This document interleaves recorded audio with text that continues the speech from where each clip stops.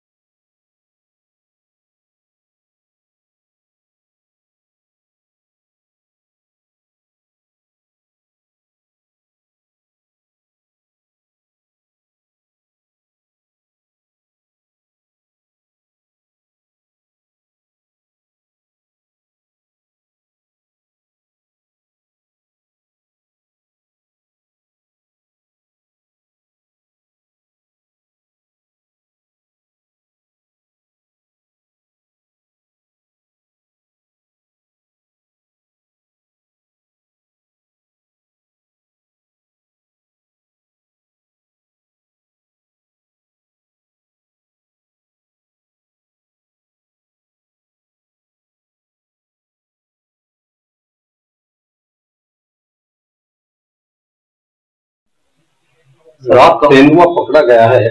जी। कहाँ से पकड़ा गया है? क्या?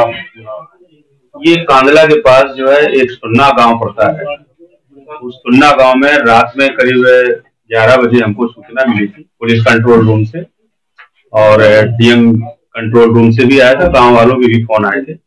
ये तेंदुआ जो है उसमें पिंजड़े को क्या कहते हैं ट्रैप में फंस गया है।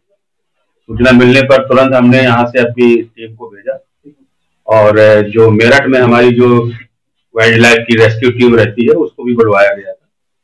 उनको बुलवाने के बाद वहाँ मौके पर देखा गया तो वास्तव में वो तेंदुआ एक ट्रैप किया हुआ मिला था, जिसका रेस्क्यू किया गया सुरक्षित रेस्क्यू करके उसको लेके यहाँ आया गया है।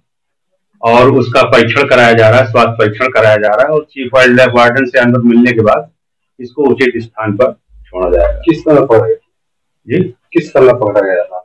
ये रात में ग्यारह बजे हमको सूचना मिली थी और लगभग दो बजे हमने इसको जो है के आसपास जो है हमने इसको जो है पिंजड़े में इसको सुरक्षित कैद कर लिया था। जो जनपद से इसकी दहशत की जो आवाज़ें आ रही थी कि फला जगह देखा गया उस जगह देखा गया। कितने स्थानों पर ऐसी शिकायतें देखिए शिकायतें तो बहुत आ रही थी कई ये करीब डेढ़ दो महीने से मिल रहा था लेकिन उसका आइडेंटिफाई नहीं हो पा रहा था कि ये वास्तव में तेलुआ ही है। लेकिन उसके ना तो पदचिन्ह मिले थे ना उसकी कहीं ऐसा कोई वीडियो फ़ोटो मिला था जिससे ये कहा जाए कि नहीं ये वही आज मतलब तेंदुआ है जिसकी सूचनाएँ पहले कोर्ट में मिल रही थी। अब चूँकि वो ट्रैप में फंसा है किसी ग्रामीण ने लगाया था ट्रैप को तो उसकी भी जाँच करा रहे हैं कि किसने लगाया ये उसके खिलाफ कार्रवाई की जाएगी। और जो भी नियम संगत विधिक कार्रवाई होगी वो करेगी अभी कहाँ छोड़े जाने अभी छोड़ने के लिए ऐसा है कि ये तो हम चीफ वाइल्ड लाइफ वार्डन है हमारे जो लखनऊ में उनके निर्देश मिलने के बाद ही अगर वो कहेंगे कि चिड़ियाघर में भेजना है तो चिड़ियाघर भेजेंगे या फिर किसी सुरक्षित जंगल में जो है जहाँ और भी अन्य इस प्रकार के जानवर हैं हमारे वहाँ छोड़ा जा सकता है। इस सर्चिंग अभियान में कौन कौन से कहाँ की टीम है? इसमें जो है, मेरठ में हमारी जो वाइल्ड लाइफ की रेस्क्यू टीम रहती है, वो थी हमारा यहाँ की ऊन रेंज का और कैराना रेंज का हमारा पूरा स्टाफ था। रात में हम लोग जो है, पूरी रात जो है इस रेस्क्यू ऑपरेशन में लगे रहे और तब ये सफलता प्राप्त हुई है। ठीक है